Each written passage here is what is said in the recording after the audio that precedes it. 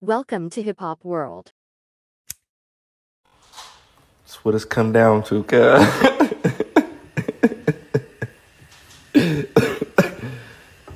hey, cuz, it is what it is.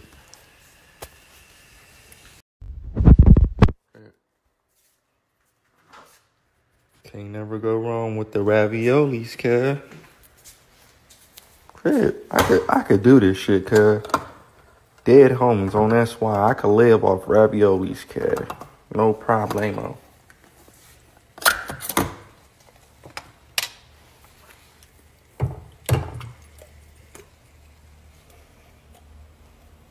Mm-hmm. Okay. Get right.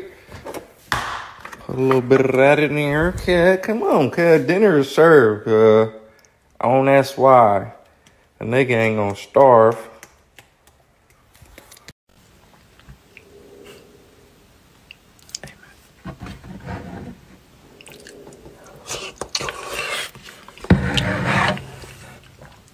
Mmm. It's really good. Raviolis was delicious. I think I'll go to bed now.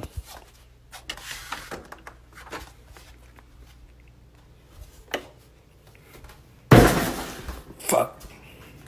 Shit. Fucking toe. Alright, guys. I'm gonna just go beat my dick and go to bed. I don't give a fuck. Great. It is what it is. Still got this shit. That's why you can't take that from me.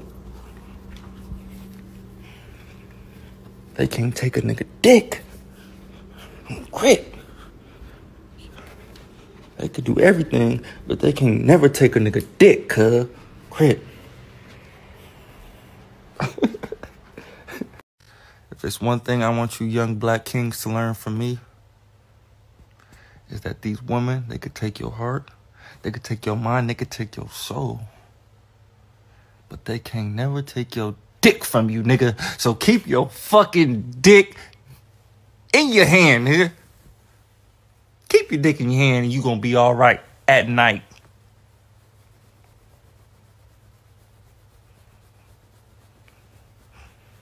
This, uh, this Blueface right here. So Blueface, Oh, here we go. both, his- both his baby mamas done, done teamed up on him. Uh-huh. Wow. They teamed Wow. up on him and he doesn't know how to act.